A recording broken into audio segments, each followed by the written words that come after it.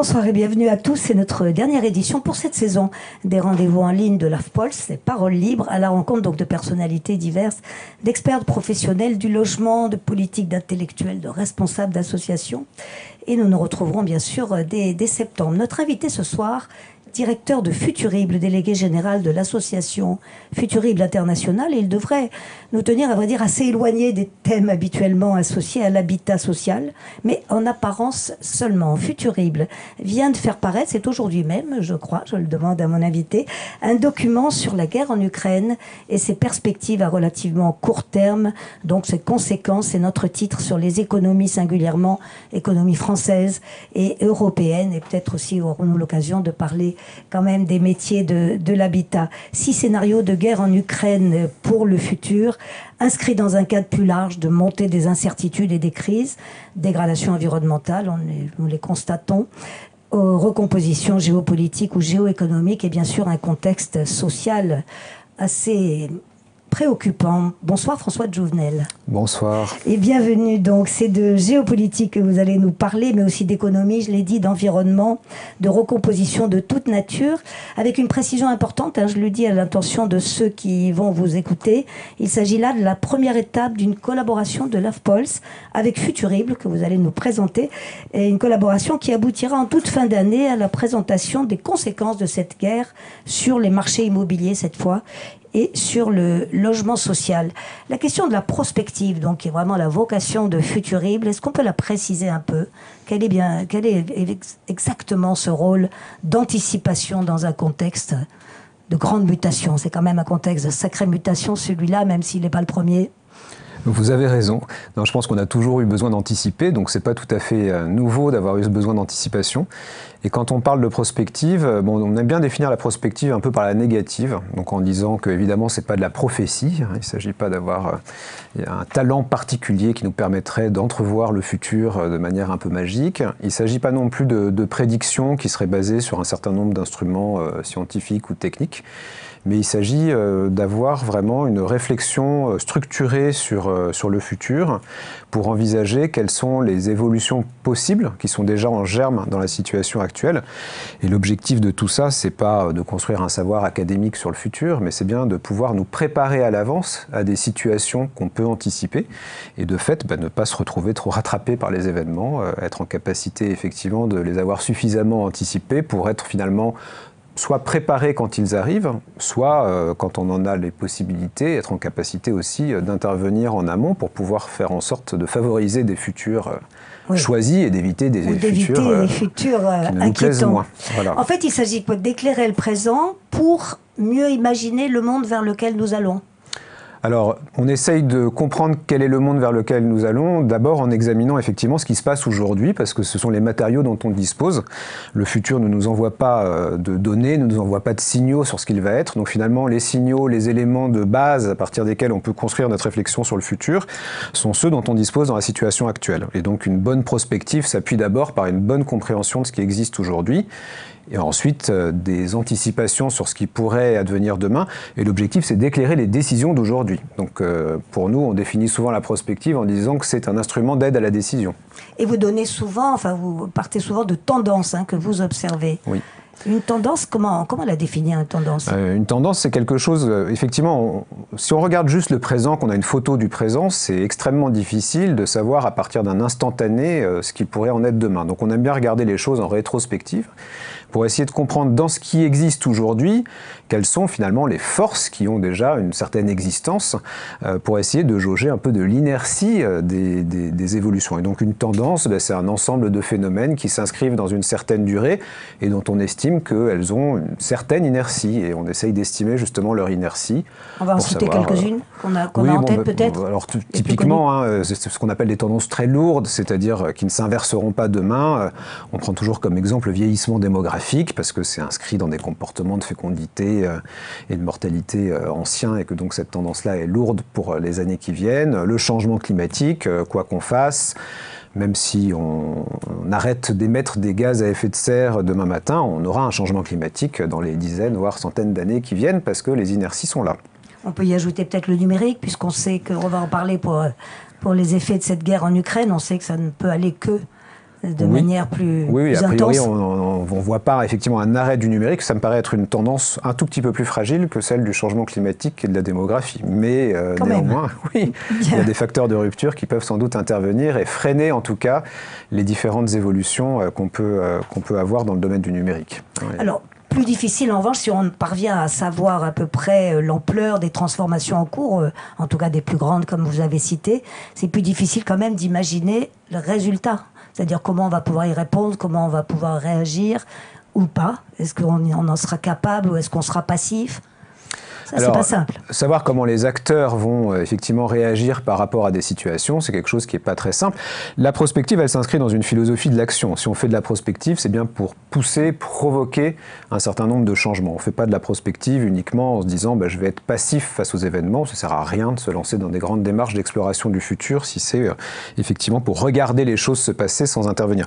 Donc de toute façon, tout organisme qui se lance dans une démarche de prospective le fait pour pouvoir agir dès maintenant euh, pour pouvoir intervenir sur le futur. Alors encore une fois, comme je le disais, ça peut être en adaptation. On a besoin de s'adapter au changement climatique. Hein. Euh, ça n'empêche pas d'essayer de l'atténuer, mais de toute façon, il faut s'adapter à un certain nombre d'implications, d'impacts qu'il va avoir, car il sera là. Donc ça, c'est aussi une action, hein, de ces actions d'adaptation. Et puis, de temps en temps, on peut être beaucoup plus proactif, comme on dit, euh, c'est-à-dire être en capacité, effectivement, de, de, faire intervenir des futurs que, que l'on souhaite par des politiques publiques, par des stratégies d'entreprise, etc. Donc, Alors, il y a... Pardon, il y a les grandes tendances, hein, euh, François Jouvenel, vous nous les avez décrites, mais il y a aussi les événements inattendus. Euh, où mettez-vous, par exemple, le Covid-19 qui, a saisi le monde et qui, a, et qui l'a mis dans un état de sidération tel qu'on a quand même confiné euh, plus de la moitié de l'humanité? Alors, euh, c'est pas c'est pas si évident que ça que de catégoriser euh, les événements du futur. Moi, j'aime bien distinguer finalement un certain nombre d'éléments qui sont tout à fait prévisibles. C'est effectivement les tendances lourdes que vous avez mentionnées, sur lesquelles, en quelque sorte, on a une responsabilité de pouvoir les anticiper et de s'y préparer à l'avance, car les éléments qui nous permettent de dire des choses avec une relative certitude sur l'avenir sont là. Donc ça, c'est voilà, c'est les choses certaines sur l'avenir. Il y a des choses qui relèvent de l'incertitude. Voilà, je ne sais pas si ça va arriver ou quelle va être la forme que cela pourra prendre demain. On va parler tout à l'heure de l'Ukraine. Bon, mais il y a un certain nombre d'incertitudes sur la façon dont le conflit, par exemple militaire, va se résoudre. Donc là, on est dans le domaine de l'incertain. Et puis, il y a le domaine de l'imprévisible, c'est-à-dire ces événements euh, que même avec toutes les démarches de prospective que vous voulez, vous n'arriverez pas à pouvoir euh, anticiper. Et donc, il y a tout un domaine de l'imprévisibilité, euh, ce que Nicolas Taleb a appelé les signes noirs, hein, ces phénomènes à finalement très faible probabilité d'occurrence et à très forts impacts. Alors, signe noir, je vous arrête un instant, parce que signe, on parle de l'animal, hein, le signe. Oui, oui, bien sûr. Le signe, pas un signal. Enfin, je dis bien sûr, non, c'est pas, pas bien sûr d'ailleurs. Mais, mais c'est une théorie, effectivement, qui a été mise en avant par, euh, je le prends dans vos, dans vos écrits, hein, euh, par Nassim Nicolas Taeb, qui en gros, c'était quoi, au moment de la crise de 2008, je crois, qu'il a, qu'il a élaboré cette thèse, il me semble. Je ne sais plus quand est-ce qu'il a Mais en gros, ce qu'il nous dit, c'est ces événements imprévisibles, la Covid peut en faire partie, mais un attentat aussi peut en faire partie, par exemple, qui bouleverserait euh, mm. les, équilibres géopolitiques. Euh, en fait, euh, ils ont une influence sur le, sur le cours de l'histoire? Alors la thèse de Taleb, hein, qui donc effectivement considère que ces, enfin lui, il considère que ces événements très faiblement probables mais à très forts impacts mm. sont extraordinairement structurant dans le cours de l'histoire, beaucoup plus structurant finalement que les tendances lourdes qu'on a envisagées.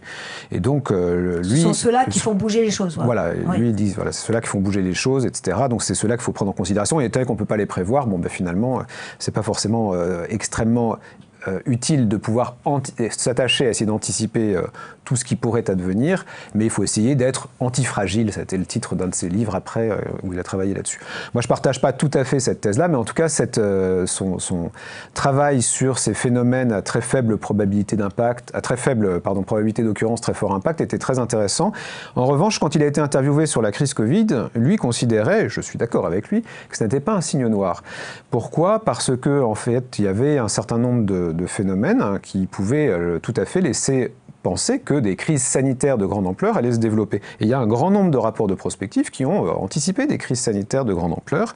Ça a été le cas des rapports euh, connus de prospective de la CIA, ça a été le cas aussi de travaux européens, de travaux de la délégation sénatoriale à la prospective en France, même Futurible avait fait, fait un certain nombre de, travaux sur ce sujet-là. Et on peut y ajouter, pardon François Jouvel, on peut y ajouter les écrits de science-fiction euh, l'imaginaire aussi des grands auteurs euh, qui, avaient anticipé ce type de, crise. oui, oui, tout à fait. Alors, qu'ils l'avaient anticipé. Alors, on n'est pas dans le même registre pour moi. L'un et l'autre doivent se nourrir. Mais ça prouve quand même que c'était dans la pensée. Voilà, c'était dans la pensée. Ensuite, quand on est sur des travaux analytiques qui disent oui, il y a une sorte de certitude au fait que de plus en plus on ait des grandes crises sanitaires mondiales, on n'est pas dans le même registre que dans des, du travail de science-fiction qui, effectivement, nous plonge dans ces phénomènes-là. Les deux sont tout à fait complémentaires et nous, on aime bien travailler avec ces deux registres, mais on n'est pas exactement dans le même registre. Mais donc, sur la crise sanitaire, ce que dit Taleb, c'est que euh, finalement, euh, on est sur, euh, sur un phénomène qui était dans sa précision effectivement imprévisible, savoir que ça allait se déclencher à Wuhan, en Chine, à l'automne 2019,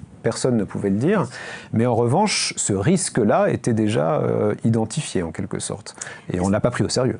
Est-ce qu'on peut aller aussi loin, dire la même chose des, grandes catastrophes naturelles? Je pense euh, le tsunami par exemple du Japon, ou même euh, ou, industriel, la catastrophe de Fukushima encore, encore au Japon, ou même d'un attentat aussi dramatique que celui de 2001 par exemple? Oui, oui. Alors ensuite, les, spécialistes peuvent, voilà, les spécialistes peuvent avoir des nuances dans le vocabulaire quand il s'agit vraiment d'actions humaines qui, peuvent intervenir et bouleverser un peu la donne, comme des attentats, etc. On parlera plutôt de surprises stratégiques. Bon, mais c'est un peu la même chose. Effectivement, c'est des événements imprévisibles. Alors, imprévisibles, ils sont jamais totalement imprévisibles. Il y a toujours des signes en réalité, mais la réalité est qu'on ne les a pas anticipés, c'est-à-dire qu'on n'a pas été en capacité à un moment donné de prendre ces signes suffisamment au sérieux pour pouvoir dire ben là, il y a vraiment quelque chose qui se passe dont il faut qu'on se préoccupe.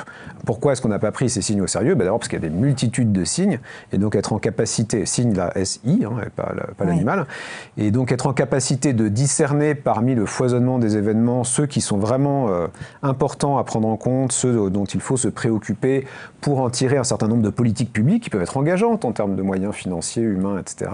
C'est pas si évident, ça fait partie des choix qu'il faut faire. Et voilà l'apport des prospectivistes dont, vous êtes euh, avec, avec Futurib, font prévoir ces grandes ruptures et surtout, et surtout connaître le, terrain sur lequel elles ont pu. Euh, elles ont pu prendre racine et s'épanouir. C'est un petit peu ça, au fond, dans votre, votre rôle. Oui, tout, tout à fait. Alors, il faut, faut, rester extrêmement modeste hein, euh, quand il s'agit du futur, c'est-à-dire que personne ne va être en capacité d'identifier toutes les ruptures possibles. Et puis, si jamais on identifiait toutes les ruptures possibles, ça servirait à rien parce qu'on serait noyé euh, sous la masse de ces ruptures. Donc, en réalité, ce qui, ce qui est intéressant, on a fait un rapport il y a, il y a, deux ans maintenant sur un certain nombre de grands scénarios de rupture dans le dans le domaine de l'économie mondiale, euh, autour duquel vous aviez déjà organisé un, parole libre. Tout à fait, vous avez reçu Cécile Desonnet de chez vous. Euh, et donc dans ce rapport, on envisageait un certain nombre de grands scénarios de rupture. Il y en avait 17 qu'on précisait et qui nous apparaissaient comme étant des scénarios intéressants dont se saisir parce qu'il nous semblait qu'il fallait s'y préparer.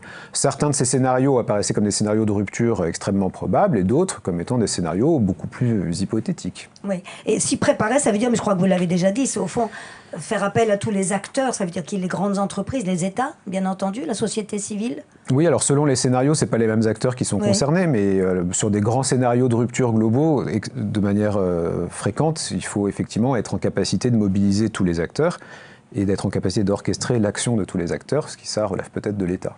Alors venons-en à ce nouveau rapport que vous produisez. Donc aujourd'hui même, hein, il, vient de, sortir sur la guerre en Ukraine, les scénarios à l'horizon 2025. C'est un horizon assez court, hein, vous dites moyen terme, c'est même du court terme Oui, alors notre pari, alors c'est vrai que sur la prospective, on peut travailler sur des horizons de temps qui sont très variables. Le, GIEC, euh, qui travaille sur les questions climatiques, fait des scénarios à l'horizon 2100. On peut même en faire des horizons beaucoup plus lointains. Euh, et en réalité, on peut aussi faire de la prospective à plus court terme. Et ça, c'est quelque chose qu'on avait initié pendant la crise du Covid, justement, où on avait, fait, euh, on avait produit très vite hein, euh, des scénarios sur la crise Covid en partant du principe qu'on était dans le brouillard. On ne savait pas où on allait, on était dans une incertitude un peu forte. Alors quand je dis on, c'est les différents acteurs qui doivent prendre des décisions à certains moments, qui engagent leur famille, leurs entreprises, leurs États. Euh, et que face à ce brouillard et à, cette incertitude, on pouvait mobiliser finalement les outils, les méthodes de la prospective pour essayer non pas euh, de dissiper totalement le brouillard, mais de donner un certain nombre de lignes de force qui permettent de se repérer un peu et comme j'aime bien dire, d'apprivoiser l'incertitude, hein, de faire en sorte qu'en l'ayant un peu canalisé, on sache un peu plus où, on met les pieds. Et donc, euh, pour le Covid, on avait commencé à faire des scénarios à 18 mois, puis qu'on a actualisé régulièrement, donc c'était des horizons encore plus courts. Et là, sur la guerre en Ukraine, ben, on, on, en fait, on a été confronté un peu même, à la même chose. Et pour les membres de l'association Futurible, on a commencé à travailler avec un groupe de travail sur des scénarios, effectivement, à relativement court terme. Donc on s'est placé à 2025, à l'horizon de trois ans, euh, parce qu'il nous semblait que c'était à, à cet horizon-là qu'on pouvait réfléchir à partir de la situation actuelle et esquisser un certain nombre de scénarios utiles pour éclairer les décisions qui doivent être prises aujourd'hui. Évidemment, ces scénarios, ils ne s'arrêtent pas en 2025, donc ils ont des, perspective de prolongement au-delà. Et vous-même, vous allez évidemment les, réactualiser. Euh, voilà, on les relie en permanence. Euh, je dirais presque, ils sont, ils sont sortis ce matin, donc ils ne sont pas encore périmés, mais, mais nécessairement, les événements vont crédibiliser certains scénarios, invalider d'autres, en faire naître de nouveaux. Et ce qui est intéressant, c'est ce processus un peu continuel qui permet aussi de relire ces scénarios au regard de, de l'actualité et de les revoir. Je précise qu'on trouvera évidemment en ligne hein, les, références du, rapport, donc celui qui sort. Vous avez arrêté vos travaux au 1er juillet, je crois, il, y a, il, y a, quelques jours, avec les noms des auteurs et des contributeurs. Euh, bien entendu, nous, on va le découvrir grâce à vous, comme si c'était une, comme une première lecture. Le contexte, bon, bien, on le rappelle bien sûr, à invasion de l'Ukraine par la Russie, c'était le 24 février dernier. Et ce que vous observez tout de suite, c'est dans le préambule, je crois, de votre rapport, c'est que cette euh, invasion de l'Ukraine qui a surpris quand même, même si on en parlait depuis un moment, même si les États-Unis l'avaient annoncé, etc., euh, a percuté, je vous cite, de plein fouet un monde en convalescence, fragilisé justement par la pandémie de, de Covid et ses effets économiques. Oui, alors, bon, c'est effectivement, on, est dans une sorte de succession de crises. Là, on a un peu l'impression eh de vivre un, en sortir. voilà, un cauchemar permanent et que finalement, il n'y a plus rien de, très stable. Euh, alors, cette, crise, la guerre en Ukraine a des causes euh, qui n'ont rien à voir en tant que telles avec la crise Covid, mais il est évident quand même que la fragilisation du système économique et géopolitique mondial entraînée ou accélérée par la crise Covid, parce qu'il y en avait déjà beaucoup de ferments euh, auparavant, a sans doute euh, constitué un terreau favorable pour le développement d'initiatives comme celle de euh, l'agression de, de, l'Ukraine par, par la Russie. D'ailleurs, c'est des, choses qu'on avait anticipées, nous, dans le, les scénarios qu'on avait fait sur la crise Covid, en disant bah, on peut avoir effectivement un certain nombre d'acteurs qui peuvent jouer d'une position de force dans un monde dans lequel on n'est pas forcément extrêmement vaillant pour pouvoir réagir de manière coordonnée et forte. Mmh. Donc on a là un terreau. Ensuite, de manière un peu plus globale et plus prospective, notre euh, conviction aussi à Futurib, c'est qu'on est aujourd'hui dans un monde où on rentre dans un système de crise un peu permanente. Et on a toujours l'impression que ces crises sont des crises très conjoncturelles, qu'on va revenir à la normale, euh, etc. Mais en réalité, on a un certain nombre de ferments qui font qu'on rentre dans un système de crise relativement fréquente, permanente et interconnectée les unes avec les autres. Hein, voilà. Donc ça, c'est aussi un sujet qui est important. Et ça, c'est sous l'effet de plein de choses, hein, notamment euh, bon, euh, le changement climatique, même si en l'occurrence pour la guerre en Ukraine, c'est pas le changement majeur, euh, mais aussi l'interconnexion des économies, le fait que voilà, on, vive des dans des, avec des, rééquilibrages, si vous voulez, de puissance dans le monde qui soient aussi en transformation. il y a plein de facteurs qui font qu'on est aujourd'hui dans un, on rentre dans une ère de crise un peu permanente six scénarios à vous proposer. On avait parlé de 16 scénarios sur votre rapport plus global, mais six scénarios d'évolution de ce conflit.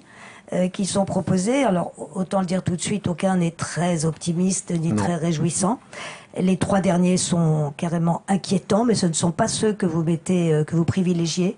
Vous mettez plutôt les trois premiers en avant, donc c'est peut-être cela qu'on va développer. Avant l'été, voilà. On, se dit que... on va essayer de rester euh, plus positif, mais on parlera quand même des trois derniers qui sont intéressants. Ce sont des hypothèses et que, que certains analystes partagent. Le contexte international, vous dites d'abord c'est une guerre assez classique dans, dans ses formes et qui peut, non pas s'expliquer, mais trouver des, des dynamiques. Le sentiment d'humiliation, par exemple, de la Russie en est un alors je crois que oui. Il faut, faut, replacer euh, ce que je dis aussi dans, dans le... Depuis le fondement de l'URSS, bien sûr. Hein, dans, dans, dans, aussi la, la, compétence qu'on peut avoir. Moi, je ne suis pas un, géopoli, un expert de géopolitique ou d'économie mondiale, donc on a fait euh, ces travaux, sont des travaux de réflexion euh, qui ont permis d'agglomérer, de faire travailler ensemble différentes compétences, donc je me fais un peu le, le reflet de, cette, de, de, ce, de ce travail collectif. Euh, sur le, sur ces, ce contexte, effectivement, dans lequel s'inscrit la guerre en Ukraine, oui, il y a un certain nombre de causes qui sont euh, tout à fait identifiées. Alors c'est toujours la même chose. A posteriori, on est toujours en capacité d'expliquer pourquoi un intervenant, voilà, pourquoi un, événement est intervenu. Mais effectivement, le sentiment, euh, de, enfin c'est ce qui est invoqué par la Russie aussi, hein, d'accord, le sentiment d'être de plus en plus encerclé, d'avoir été par ailleurs, d'avoir perdu en puissance par rapport à l'époque de l'URSS, etc., sont sans doute une des raisons qui permettent d'expliquer l'agression de l'Ukraine par le régime de Vladimir Poutine. Par ailleurs, cette guerre semble on va le voir, ça fait partie d'ailleurs de, vos hypothèses, mais accélérer pas mal d'évolutions, peut-être euh, un certain anti-puissance coloniale, une sorte de ressentiment contre des puissances un peu trop dominantes, contre une hégémonie américaine. Tout ceci ne nous surprend pas plus que cela? Non, c'est-à-dire, enfin, ne nous surprend pas. Si, bien sûr, hein. il faut, faut, on est, on est toujours un petit peu surpris par les événements qui nous sautent à la figure. On le voit avec le vote euh, de l'ONU, notamment la condamnation. beaucoup de pays se euh, sont abstenus. Voilà, on, est, alors, on est dans un mouvement de transformation un peu globale où euh, l'ordre, entre guillemets, qui était né après la Seconde Guerre mondiale euh, et euh, n'est plus du tout opérant. Donc ça, c'est quelque chose d'absolument certain. Il y a quelques puissances qui euh, émergent de manière extrêmement forte, enfin qui sont très largement émergées, hein, comme par exemple la Chine.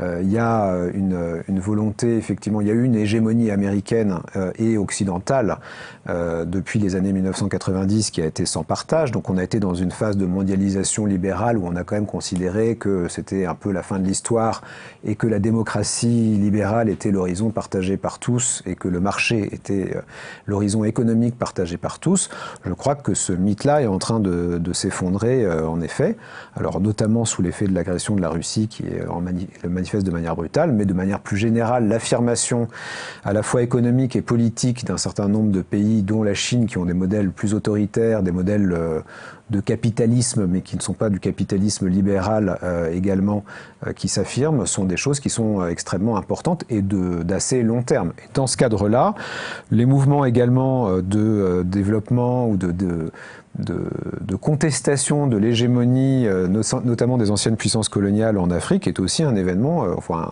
une tendance à prendre en compte de manière durable, je pense. Oui.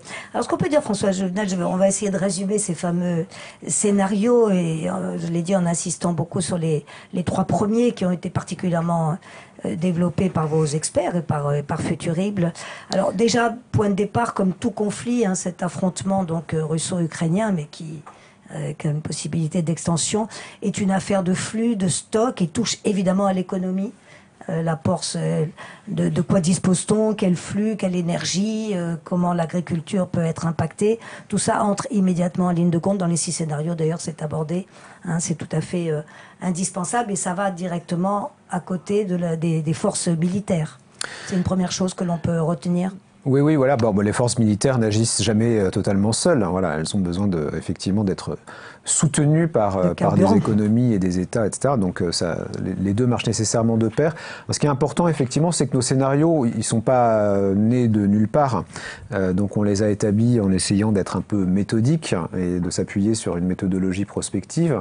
Donc de ce point de vue-là, toute la première partie de, de notre de la note qu'on a qu'on a publiée aujourd'hui propose un certain nombre de ce qu'on a appelé des messages clés, hein, il y en a 13 ou 14, je me souviens plus exactement, euh, qui sont 13, euh, euh, qui sont 13 messages clés un peu structurants, qui nous semblent importants à mentionner et qui, en quelque sorte, sont les éléments qu'on considère comme étant stable dans euh, le grand, euh, le grand océan d'incertitude que permettent de cadrer ensuite les scénarios.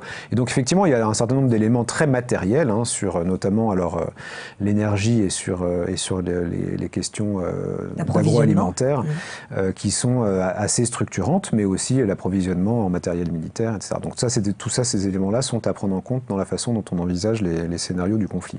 Alors dans ces 13 effectivement mentions que vous avez fait, il me semble 13, il y en a une que je trouve très intéressante on peut euh, effectivement le réaliser, mais en lisant une tendance historique, notez-vous, au XXe et XXIe siècle en tout cas, à l'enlisement lors des opérations militaires extérieures.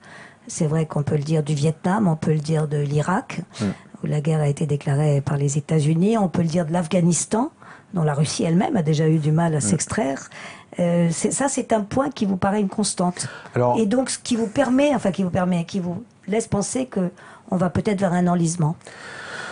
C'est pas euh, c'est pas une constante dans le sens où il n'y a pas une, une loi euh, qui oblige effectivement à ce que ça se passe de cette manière-là. Mais c'est vrai qu'en regardant l'histoire et par analogie, ben, on s'aperçoit qu'on a beaucoup de situations finalement similaires, et notamment des situations où euh, le pays envahi est soutenu par des puissances quand même qui sont des puissances puissante, eh bien, on a effectivement cette situation d'enlisement qui se, manifeste. Et, notamment, la, situation actuelle de l'Ukraine fait quand même beaucoup penser au conflit afghan, le conflit afghan des, années, des années 70. Hein. Oui, c'est le, premier scénario, enlisement du conflit et instabilité. Alors, je, cite un peu le, le, court résumé, on va pas tout détailler, mais Également, alors donc gel du conflit militaire en Ukraine, hein, c'est la première hypothèse. Enlisement du conflit, on gèle le conflit.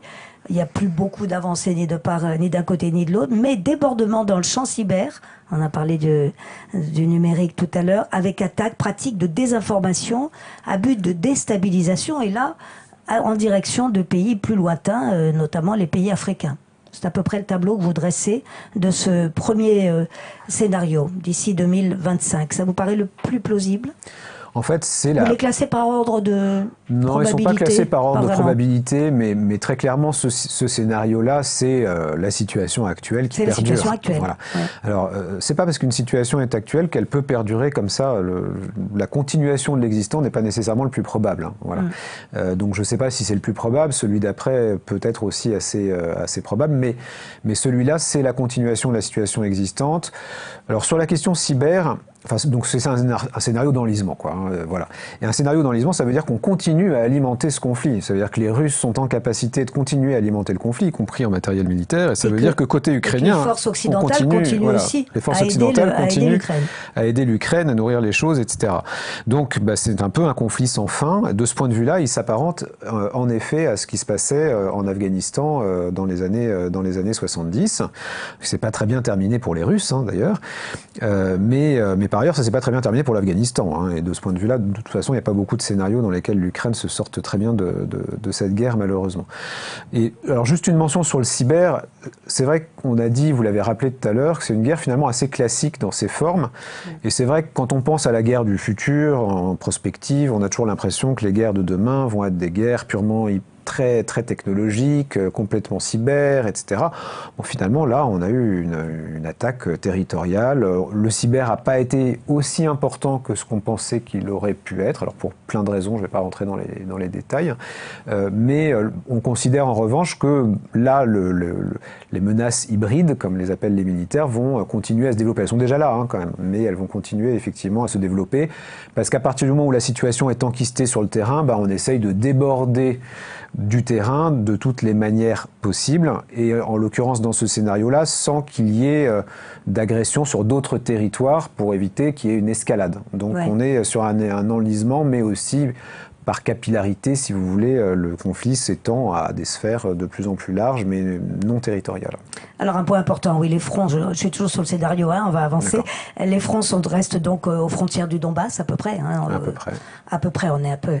mais ce qui veut dire qu'Odessa reste sous contrôle ukrainien, c'est très important pour la circulation des, des biens et des produits, ça c'est un élément qu'il faut garder en tête. Scénario numéro 2, vous l'avez rapidement évoqué aussi tout à l'heure, le conflit ukrainien alors serait, passe à très haute intensité et là, on va vers un monde de blocs. Vous avez parlé de la Chine, qui restait neutre dans le premier scénario, qui ne s'engageait pas plus que ça. Là, soutien sans ambiguïté de la Chine à la Russie, on parle d'autre chose. Hein.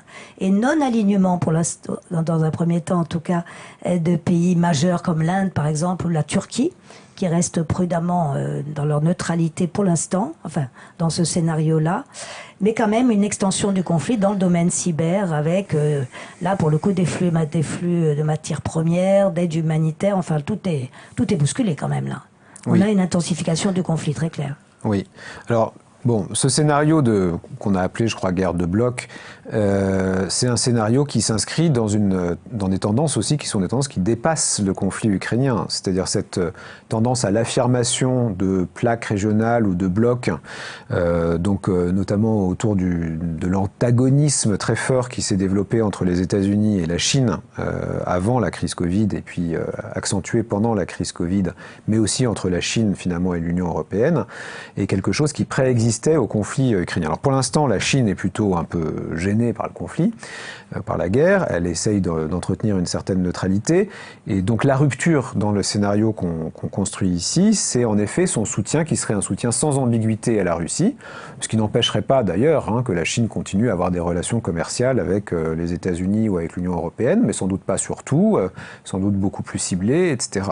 Et donc on aurait une structuration de blocs beaucoup plus nette, une alimentation du conflit aussi donc euh, beaucoup plus euh, intense, on se cacherait moins en quelque sorte derrière euh, une, neutralité un petit peu qui, est importante quand même dans le, dans le scénario 1, et donc bah, le théâtre d'affrontement ukrainien deviendrait un théâtre d'affrontement beaucoup plus, beaucoup plus violent. Et en effet, dans ce scénario-là, les flux, notamment sur les matériaux stratégiques et sur l'énergie, seraient beaucoup très fortement euh, reconfiguré. Dans le premier scénario, on avait encore, par exemple, du, du, commerce de gaz avec la Russie et entre la Russie et l'Europe. Dans ce scénario-là, très clairement, on n'en a plus. Alors, euh, on verra d'ailleurs si on ne ah pas euh, très vite. Et donc nos économies, parce qu'on veut parler de l'économie française notamment, mais pas seulement, se retrouvent sous la pression de coupures, de livraison, de pénurie d'hydrocarbures. Là, ça devient ça devient extrêmement compliqué euh, pour eux. Oui, ça l'est déjà un peu. Hein, Et de manière, euh, à la, enfin, de manière, le pendant serait une cohésion de l'Union européenne, au contraire, euh, très forte dans ce cas de figure. Alors, dans ce scénario-là, de vraiment de, de, structuration en bloc, oui, on considère qu'en effet, l'Union européenne n'a en réalité pas véritablement le choix et donc est en obligation en quelque sorte de faire bloc et aussi de se structurer derrière l'OTAN. Et, donc là, on est dans un scénario d'affrontement beaucoup plus global euh, entre des blocs qui sont euh, très structurés. quand je dis affrontement, ça ne veut pas dire nécessairement Troisième Guerre mondiale, qui est un des scénarios euh, qu'on décrit après. C'est le dernier. au passage, les ambitions de, de transition énergétique sont vraiment mises à mal aux États-Unis et en Europe. Ça va être très difficile à tenir. Je, je ne sais pas. Voilà. Euh, oui, alors ce qui est sûr, c'est qu'elles ne pourront pas se faire dans la simple continuité de, eh l'existant. Mais ensuite, euh, la transition énergétique, il y a plusieurs façons de, la conduire, hein, des façons sans doute complémentaires. On serait plutôt dans une situation où euh, la sobriété deviendrait une sorte d'obligation imposée. Donc, il va falloir inventer autre chose. Sur le plan géopolitique, évidemment, le Conseil de sécurité de l'ONU, qui ne va déjà pas très bien, et le multilatéralisme, dans ce cas de figure, hein, toujours, n'existe plus. Explose. On est d'accord avec le nombre de réfugiés euh, ukrainiens qui certainement augmentera. À chaque fois, vous, vous mentionnez le nombre de réfugiés. Hein. Oui, alors, la, situation, oui, alors ce qui est euh, important sur les réfugiés, c'est de bien penser qu'il y a les réfugiés ukrainiens, mais, il y a surtout les réfugiés, enfin surtout, euh, il y a aussi les réfugiés qui peuvent venir d'autres zones de la planète, liées notamment aux crises alimentaires qu'on peut connaître. Touchés par ces conséquences. Scénario numéro 3, vous l'intitulez Peur, égoïsme nationaux et extension territoriale du conflit. Là, c'est une situation d'essoufflement au fond de l'aide militaire de l'OTAN. Euh, peut-être des États-Unis d'abord, et puis euh, de l'ensemble des pays occidentaux, et donc euh, bah, qui donne l'avantage à la Russie pour occuper les territoires de l'Est, du Sud, et bloquer la mer Noire. Oui, c'est un scénario en fait d'essoufflement des soutiens de l'Ukraine. Euh, d'essoufflement qui, laisse la voie libre. Voilà, qui laisse la voie libre, ou en tout cas, un, peu plus facile mmh. à la Russie, euh, ou en tout cas au régime de Vladimir Poutine. Et donc ce scénario d'essoufflement, il peut être poussé par beaucoup de facteurs. Alors il y a des éléments qui sont euh, assez tangibles déjà aujourd'hui, hein, qui sont que les différents pays qui sont impliqués dans ce conflit, notamment au niveau européen, n'ont pas forcément les mêmes vulnérabilités vis-à-vis de la Russie et vis-à-vis de l'Ukraine, euh, qu'ils n'ont pas non plus les mêmes préoccupations. Alors sur les vulnérabilités, c'est notamment le cas dans le domaine énergétique, hein, euh, c'était un point important, et puis dans le domaine économique de manière, de manière générale. Donc le fait de maintenir une cohésion européenne face à, ce, à cette guerre et à ses impacts économiques n'est pas si évident que ça du tout. Donc c'est un peu comme le, au moment du Covid. Hein. Pendant le Covid, on avait le, même, le même sujet de cohésion de l'Europe. Et finalement, on a réussi à aller un cran en avant, mais il y avait un vrai doute. Et là, on a un peu la même chose. Est-ce que l'Europe va réussir à avancer pas tous la même chose à l'est ou à l'ouest de l'Europe. Euh, oui, puis même entre l'Allemagne et la France. Hein, et entre l'Allemagne et la France. Il y a un vrai sujet entre l'Allemagne et la France. Autre sujet d'inquiétude, on peut en parler comme ça, la réélection possible de Donald Trump en 2024, Amérique d'abord. Là aussi, le repli paraît euh, Voilà, on peut tout à fait avoir aussi dans les événements qui peuvent pousser à un scénario de ce type-là, d'effritement du, disons, du bloc occidental pour aller vite, euh, c'est la réélection d'un Donald Trump aux États-Unis ou en tout cas de, républicains qui mettraient, euh, qui auraient un, slogan America First et qui diraient bon ben oui, on, eh ben quel est notre intérêt à aller effectivement, à part vendre des armes, mais quel est notre intérêt à aller euh, s'investir dans ce, dans ce théâtre lointain on se retire euh, et, on, sort un petit peu du jeu. Et là, bon, mais qu'est-ce qui se passe?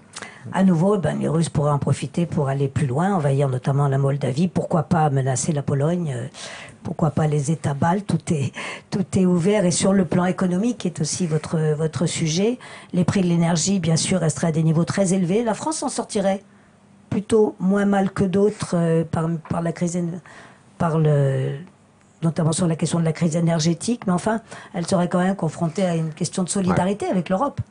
Bah, dans ce scénario-là, il n'y a plus beaucoup de solidarité avec l'Europe. C'est dans le scénario 2 Ça va être du chacun pour soi. C'est un peu du chacun pour soi. Donc là, les pays qui vont s'en tirer extrêmement bien, je dirais, c'est tous les pays producteurs euh, d'énergie aujourd'hui, qui sont considérés pour beaucoup comme des pays parias et qui sont euh, très courtisés déjà maintenant euh, pour, pour leurs leur, ressources, notamment en hydrocarbures. Hein. Le Venezuela, l'Iran, l'Arabie Saoudite, qui n'est pas paria, mais bon, voilà avec bien sûr, oui, des régions très dépendantes euh, des approvisionnements russes et ukrainiens. Là, je quitte l'Europe et les pays occidentaux, mais l'Afrique du Nord, l'Afrique de l'Ouest, le lot de réfugiés, les inégalités qui vont avec. Ça, c'est le scénario 3.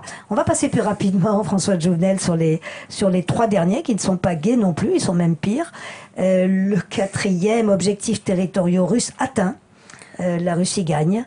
L'Ukraine est donc en partie occupée des dirigeants pro-Moscou, de nouvelles velléités territoriales, comme, euh, comme dans le, précédent, et une victoire qui ne sera pas reconnue par l'OTAN. Ce qui peut conduire quand même à encore plus grave. Je continue sur le scénario 5 et vous commentez les trois après. Comme vous voulez. Alors le 5, parce qu'il me semble qu'on peut glisser de l'un à l'autre hmm. de manière assez, assez dangereuse. Euh, non, le, le, 5 serait plutôt un retour à une situation un peu statu quo pré-conflit, c'est-à-dire une issue de la guerre plutôt favorable à l'Ukraine. C'est l'inverse, celui-là, euh, puisque la Russie serait un peu affaiblie, isolée euh, militairement et économiquement, et évidemment politiquement, et elle finirait par se retirer. Personne ne croit vraiment à cela, mais en moyennant bien sûr la, neutralité de l'Ukraine hein, qu'elle demande depuis le, le début. Et vous ajoutez de manière un peu cynique que cette trajectoire pourrait être accélérée ou renforcée par la destitution, voire la disparition de Vladimir Poutine. Oui. Bah, bon, c'est un peu le, je dirais, le rêve que font beaucoup de, de personnes sur, le, sur, la, sur la guerre actuelle en disant, mais finalement, le phénomène qui pourrait permettre de faire en sorte que, en quelque sorte, l'Ukraine gagne, même si on ne sait pas très bien ce que ça veut dire que gagner et perdre hein, pour cette guerre. Euh, c'est euh, une révolution de palais, euh, une révolution de palais à Moscou, mais sur lesquelles je n'ai pas d'informations croustillantes à vous donner. Donc voilà. Mais en revanche, ce qui me paraît important, c'est de dire qu'il n'y a pas de scénario de victoire de, où, l'Ukraine, à l'horizon 2025, retrouve son intégrité territoriale. Aucun scénario n'en parle. En fait, on ne voit pas comment ce que ça pourrait être possible. Donc dans ce scénario-là, on est sur un retour au statu quo. On dit, c'est pas forcément la victoire de la Russie, parce que de toute façon, les buts de guerre russes ne sont pas clairement établis. Donc, mm. ce qui permet à la Russie, d'ailleurs, à un moment donné, de dire bah, de toute façon, c'est ce que je souhaitais. Donc si jamais euh, la Russie obtient la neutralité de l'Ukraine, et puis finalement que les oblasts de l'Est, effectivement, aient un statut euh, bah, qui reviendrait à ce qu'il était euh, juste avant, c'est-à-dire un statut controversé, on pourrait tout à fait considérer que la Russie dise, bon, ben, on s'arrête on s'arrête là. Mais on est dans une situation qui est une situation de, retour à la situation de, de l'après 2014, et avec une Ukraine profondément, profondément détruite. Et enfin, le scénario 6, qui fait un peu la suite euh, à, plusieurs autres, hein, si les choses devaient empirer, notamment au 4 dont nous avons parlé, ben, c'est euh, une situation de troisième guerre mondiale, trajectoire euh, ben, qui envisage que la guerre en Ukraine dégénère. Alors comment, comment, comment cela pourrait-il se faire? L'escalade entre les deux parties, ça pourrait être déclenché assez facilement quand on le lit. On a, on peut y penser quand même, par euh, l'emploi d'armes nucléaires par la Russie, en tout cas sur certaines petites parties, des frappes tactiques en Ukraine par exemple, ou par une extension du conflit, mais qui pourrait venir juste d'une frappe militaire ukrainienne euh, sur le, sur le sol euh, russe, ou peut-être, je ne sais pas, une provocation venue des pays occidentaux qui, qui, qui seraient considérés comme des belligérants. Euh, donc l'entrée en guerre de l'OTAN, voire de la Chine. J'ai envie d'arrêter là le scénario catastrophe, parce que l'imprévisibilité, pour le coup, est maximale, non, euh, François Jouvenel? Oui, alors ce qu'on dit, bon, oui, oui, enfin, on est dans une situation en fait d'instabilité forte et on a parfois soit un refus de considérer euh, les choses catastrophiques, soit au contraire une fascination pour la catastrophe selon les personnes. Donc euh, il faut, je pense qu'il faut être en capacité de se préparer à des situations, euh, à des situations qui soient vraiment catastrophiques, d'escalade, qui peuvent être liées à plein d'événements un petit peu différents, mais à la limite, je dirais, peu importe. c'est ça qui est inquiétant. Peu importe les événements, c'est si jamais il y a une, une certaine volonté des acteurs et de rentrer dans cette escalade, qu'on n'offre pas du tout de porte de sortie à la Russie. Pour moi, c'est un point important. Hein. Je trouve qu'on on accule en quelque sorte aussi de temps en temps un peu trop la Russie, ça me paraît, ça me paraît relativement dangereux. Et en même temps, les Russes font exprès aussi de souffler un petit peu cette peur de la guerre nucléaire depuis le début du conflit euh, pour euh, essayer de, de, de fissurer en quelque sorte le, le, camp occidental. Donc c'est compliqué comme sujet. Mais mm. il est évident qu'on est dans une situation d'instabilité assez forte avec un État euh, qui est quand même un État puissant, qui dispose d'armes nucléaires euh, importantes, qui n'a pas l'air de vouloir renoncer à, à, à la guerre qu'il a entreprise euh, et qui, euh, s'il est acculé ou si jamais il euh, considère qu'il y a une agression de trop, peut effectivement aller un, un, cran trop loin. L'histoire est quand même pleine d'exemples, de, malheureusement, de, de, ce type. Voilà. Et la toute dernière phrase, la Russie pourrait être tentée de lancer une ou plusieurs frappes nucléaires sur des cibles ukrainiennes, voire européennes, pour causer le plus de dommages possible à ses ennemis avant son effondrement ça, c'est la question euh, de la dissuasion qui ne marcherait plus. Oui, voilà. C'est, tout le monde meurt. Tout, ça n'est tout, le monde meurt, je sais pas. non, pas, pas forcément.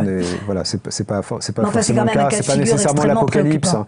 Mais, mais de manière rationnelle, euh, en regardant un petit peu les, ce, qui, ce qui existe aujourd'hui, quelles sont les forces en présence, quels sont les discours qui sont tenus, etc rien n'empêche euh, d'envisager ce type, euh, ce type de scénario. Ça n'est pas irrationnel. Et il faut évidemment s'y préparer. Alors, est-ce que ça veut dire que les, les, les, acteurs du logement social doivent se préparer à la Troisième Guerre mondiale? Je pense pas, ça sert à rien. Ça sert à rien de s'y préparer quand on, mais quand on est dans l'armée, quand on est, voilà, on doit effectivement se préparer et essayer d'empêcher que ce type de, de scénario n'intervienne. Alors, on va en dire à quelques questions pour vous, François Jouvenel, là, que les internautes nous envoient et qu'on vient de me faire passer aussi. Euh, et puis tout cela touche, on, l'a mentionné à plusieurs reprises, la situation économique euh, mondiale européenne et évidemment euh, française. conséquences quand même sur, sur des formes de, gouvernance. Quel, quel, serait le rôle de l'Europe? Vous l'avez évoqué à plusieurs reprises, des situations dans lesquelles elle est en danger de se diviser et d'autres au contraire, comme en ce moment, où elle se, elle se ressoude. Bah, Qu'est-ce qui peut l'emporter? ah, je ne sais pas. Euh, je ne suis pas devin en la matière. Mais euh, bon, moi, j'ai une aspiration qui serait qu'elle en sorte plutôt euh, ressoudée ou renforcée. Je trouve que le, le précédent de la crise euh, Covid était assez intéressant de ce point de vue-là. Parce qu'on a vraiment, on était en les six premiers mois de la crise Covid, il y avait un doute profond sur le fait de savoir si l'Europe allait être en capacité de réagir de manière un peu unie face à cette crise. Et en réalité, on a eu un accord euh, pendant l'été 2020 euh, qui a permis euh, d'avoir de, créer une solidarité européenne, une solidarité économique européenne, voire de faire des achats de, de, de vaccins, etc., collectifs. Donc ça a plutôt permis d'approfondir un petit peu l'Union européenne à un moment où elle était plutôt fragilisée par le Brexit, etc. Donc Bon, face à la crise qu'on connaît actuellement en Ukraine, on est aussi plutôt dans le même état d'esprit, c'est-à-dire qu'il n'y a pas pour l'instant de fissures trop apparentes. Ensuite, qu'est-ce qui va se passer quand les situations sociales des pays européens vont se dégrader, car elles vont se dégrader euh, très probablement, avec une inflation qui n'est pas nécessairement la même dans tous les pays européens? En France, euh, ça va encore à peu près, on est sur des taux d'inflation, sur des inflations qui sont, qui sont plus fortes euh, en Pologne ou ailleurs. Donc là, on a une, une difficulté majeur. Et puis, euh, bah, l'attitude qu'on peut avoir euh, face aux réfugiés a pour l'instant été assez euh, je dirais, beaucoup, plus positive que celle qu'on pouvait espérer quand on était face à des flux de réfugiés qui venaient d'ailleurs. Donc ça, ça a plutôt accru la cohésion européenne. Mais voilà, comment est-ce qu'on réagira à l'avenir? Je n'en sais rien. Je pense que face à l'adversité, face aux difficultés, on peut avoir généralement tendance à se tenir un peu les coudes et à s'entraider. Donc je pense que c'est plutôt, euh, plutôt bien pour l'Europe. Ce qui paraît assez évident, mais c'est mentionné d'ailleurs dans, dans, certains de vos scénarios, c'est que le, disons, l'ordre mondial tel qu'il était à la fin de la Seconde Guerre mondiale paraît définitivement bousculé c'est-à-dire, euh, au fond, ce que vous disiez en tout début, que on, sentait une sorte de d'agacement un peu de la de la domination euh, américano-européenne sur euh, occidentale, disons, sur le reste du monde, qui, comme c'est apparu lors du vote de février contre contre l'invasion de l'Ukraine, où finalement beaucoup de pays ont choisi de s'abstenir, qui était quand même camouflé peut-être pour les pays occidentaux. Donc, on va vers un autre ordre mondial. Le ah Conseil de sécurité est en difficulté. On voit bien tout cela. Je pense qu'il apparaît assez normal que l'ordre global mondial épouse un peu euh, l'ordre des puissances euh, qui, sont, qui, sont, qui sont là, parce que sinon euh, il, y a, sinon il y a un sentiment de frustration, d'humiliation, qui, est assez, qui est finalement assez naturel. au fond, cette guerre souligne ce constat que vous faites là.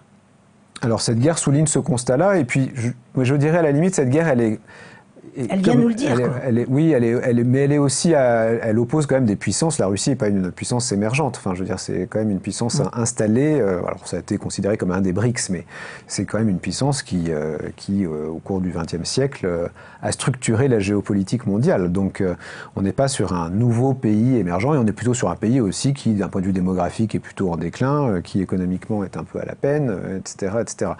Donc, ce, conflit-là, je ne sais pas si il est, c'est vraiment euh, l'émergence d'une nouvelle puissance de demain ou euh, le, cri euh, d'un animal aux abois qui a un petit peu des difficultés à se recréer une place dans le, dans le monde du 21e siècle. Voilà, ça je ne sais pas exactement le dire.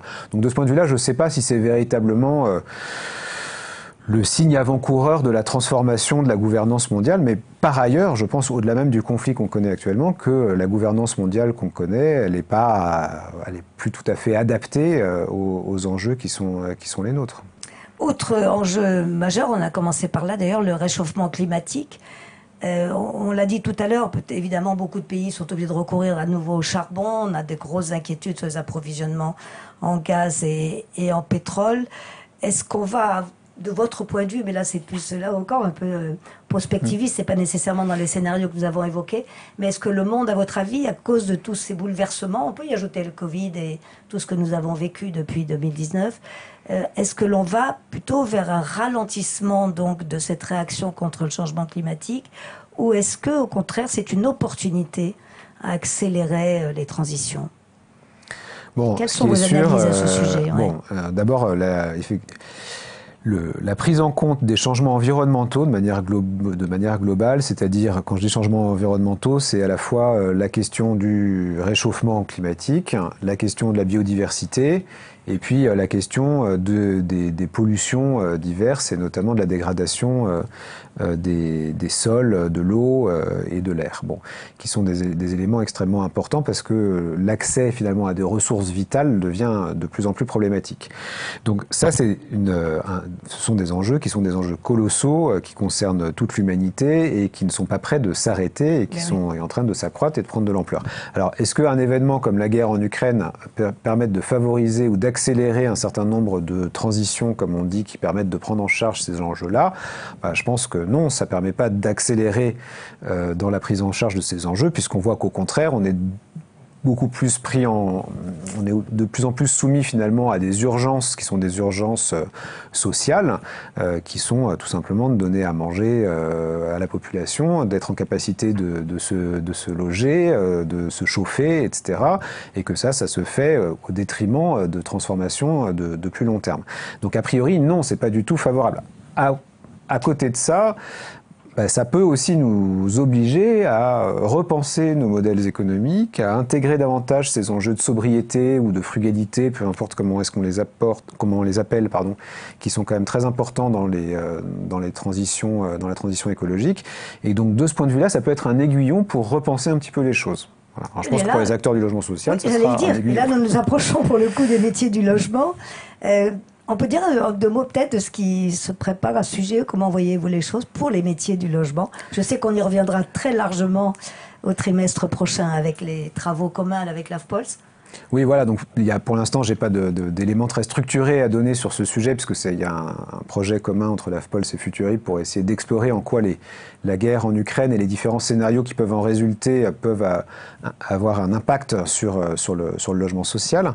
Mais bon, ce qui apparaît évident déjà, c'est qu'il y a deux, deux, grands domaines qui sont touchés le domaine de la construction et puis ensuite il y a l'usage, l'usage des logements.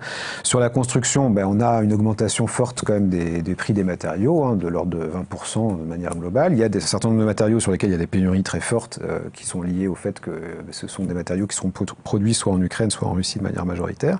Donc là, euh, il y a des vrais enjeux à analyser très concrets et qui vont avoir des répercussions sur le prix des chantiers, sur les délais, sur la capacité tout simplement à les monter. Donc là, les grands objectifs qu'on peut avoir de construction, bon, ben, il y a certainement des choses à revoir. Donc ça, c'est un point important. Ensuite, il y a la question de l'énergie qui est un point absolument crucial, c'est-à-dire ben, comment est-ce que les bailleurs et puis les locataires vont pouvoir faire pour payer leurs factures énergétiques euh, et tout simplement pour accéder à l'énergie, euh, notamment quand ils sont chauffés sur des énergies euh, fossiles qui sont rendues plus inaccessibles et notamment sur le gaz.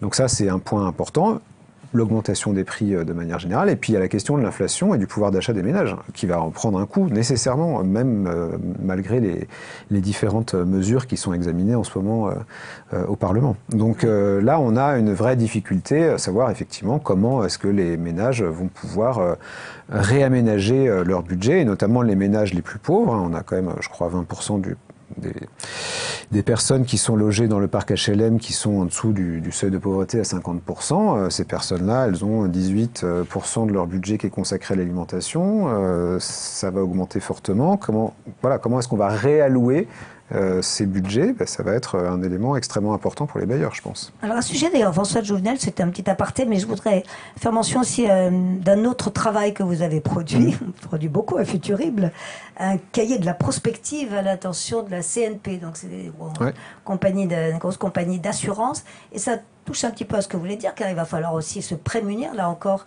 euh, de tout ce que vous nous dites là, du côté des bailleurs, comme du côté d'ailleurs des, des locataires. Euh, vous avez fait tout un travail sur les risques pour les personnes, non pas pour les entreprises, organisations, je le précise, mais quand même pour identifier tous ces risques émergents qui sont très précis, qui sont souvent liés, liés au climat. Et le climat, comme on l'a dit, c'est pas un risque, c'est une, même une certitude. Donc, qu'est-ce que ça va changer là aussi? Vous avez dressé tout un tableau de, de grandes transformations.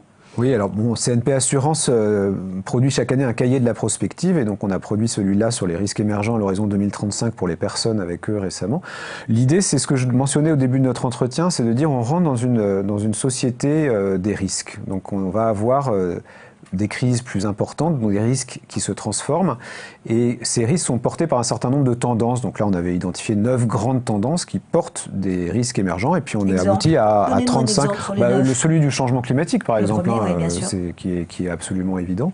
Et donc on aboutit ensuite à une liste de 35 euh, risques émergents, alors que j'ai plus vraiment en tête. Hein, je ne pourrais pas vous en faire la liste exhaustive et puis on n'a pas le temps.